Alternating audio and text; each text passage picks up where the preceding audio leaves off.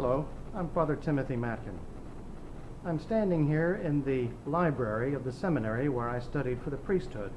I've come back to do some research on a book that I'd like to write about culture and how culture shapes and sometimes distorts our understanding of what the Bible means.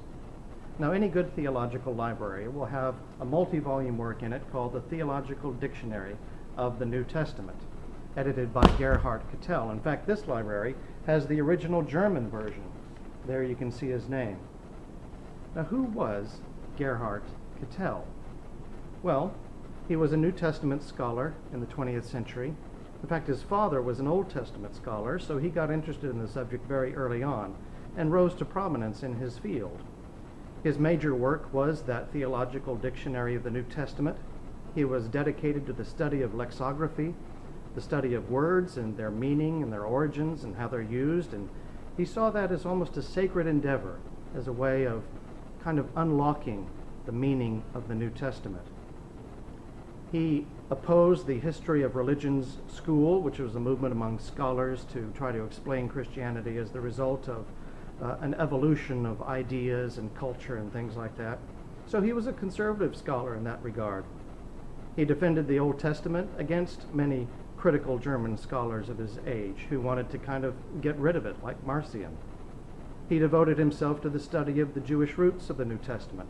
He argued that it wasn't primary, primarily a Hellenistic evolutionary idea, but that it was part of the revealed Word of God and the fulfillment of true Judaism. He completed the early volumes of his work, the Theological Dictionary of the New Testament, but he wasn't able to finish because in 1945 he was arrested by French occupying forces in Germany and charged with crimes against humanity. That's right, Gerhard Kittel was a Nazi. And it seems like a strange story. He joined the Nazi movement very early on in 1933 when Hitler first rose to power. In fact, that year he gave an address to his fraternity on this topic of Die Judenfrage, the Jewish question. How to handle Jews in society. What are we to do with them? His argument was that they should be removed from the fabric of Jewish society. Not killed off, but not be allowed to serve in certain professions and things like that. And his ideas were basically put into practice with the Jewish Nuremberg laws uh, that were enacted against Jew, uh, Jews in society. Strangely, he was considered a moderate among his peers by opposing Nazi extremes, the more extreme extremes, and by opposing the German Christian movement or positive Christianity with its kind of Aryan version of Jesus.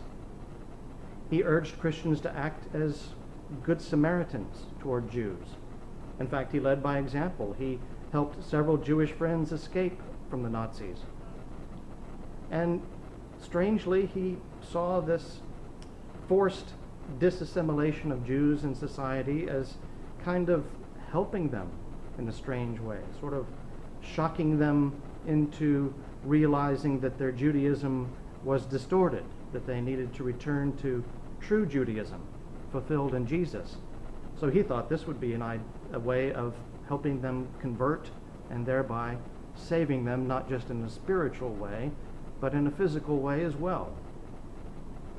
Of course, given his own background and history, his theological dictionary was under great suspicion.